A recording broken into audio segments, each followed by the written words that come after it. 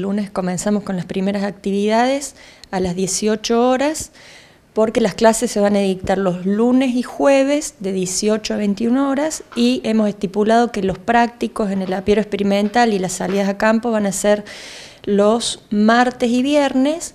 También va a ser en función de los asistentes, los horarios a convenir para la parte práctica, ¿no? porque ahí como trabajamos en comisiones de 10 personas, eh, bueno, eso lo vamos a ir acomodando con los asistentes.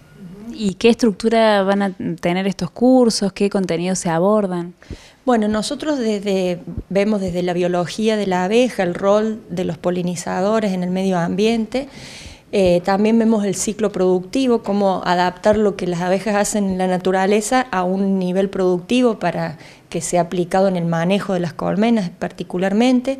Abordamos toda la parte sanitaria eh, incluso con prácticas en el laboratorio para el, diagnóstico de las enfermedades.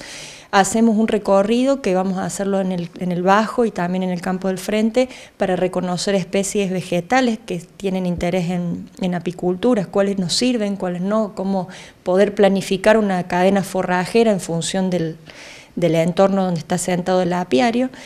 Y también este año vamos a incorporar una clase de eh, asociativismo y cooperativismo que va a estar a cargo de, una, eh, de, alguien que viene de la Confederación eh, Nacional de Cooperativas de Trabajo. como todos los años, también el profesor Antonio Julián va a, hablar, va a estar dando sobre la gestión apícola a partir de un programa que tienen en, en el INTA para hacer gestión y también nos va a acompañar eh, un productor apícola de la región, que es un pequeño emprendedor, estudiante de acá de la universidad, contando su experiencia al final del curso, y una eh, Lina León Gallón, que es licenciada en química, va, va a estar aportando desde la química todas las características de la miel, físico-químicas y organolépticas que hacen a la calidad de la miel. Eh, y bueno, Natalia Pereira y yo estamos en el resto de las temáticas que particularmente de la producción. ¿no?